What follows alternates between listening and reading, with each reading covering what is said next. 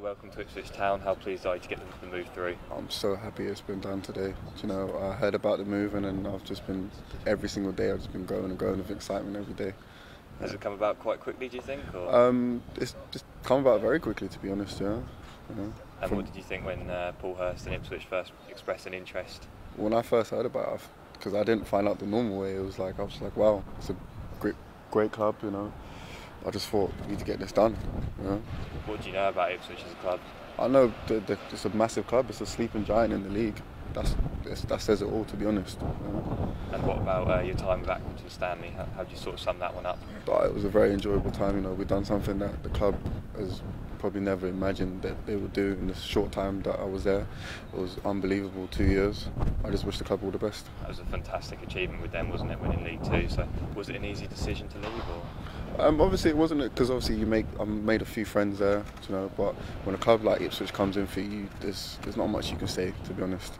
before that you had exper- uh, experience, sorry, with Wycombe and Aston Villa. So how, how do you sort of sum up how your career's got to this point? Um, it's just I've just been a massive learning curve every single step I've taken, just learning more, gaining more, as much experience as I can, playing as many games as I can, and now it's just led me to here. Yeah. Have you met any of the other lads here, or Yeah, I met a few of the boys. Obviously, I've met I met Joe Garner a few times out because he lives up north, so I met him a few times out. But everyone seems really nice. Everyone shakes your hand. Everyone says good morning. So sounds like seems like a really nice place to be. so they've given you a warm welcome? Everyone's giving me a warm welcome at the, at the training ground. Yeah. Other than Garner, do you know any lads from their previous times, or Um, I'm not really too sure. No. Mm. no. so what are you sort of expecting during your time with Ipswich? What are you Um, looking to achieve? Well, the way the boys apparently the boys work really hard pre-season, so just looking for a, a really really good season to be honest. Yeah.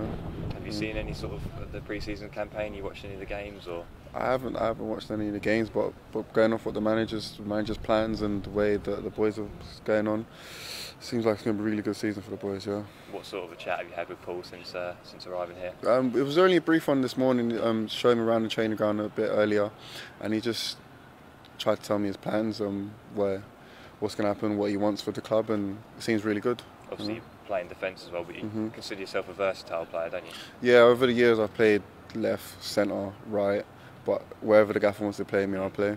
That's, is that how you look at it? What's where you needed for the team? Yeah, I'm, I'm wherever he says, I'll be there. And What sort of attributes are you looking to bring to the, the side? I'm, I'm a good defender. That's why, that's what I bank on. I know I'm a good defender. Um, just be solid, solid for the team.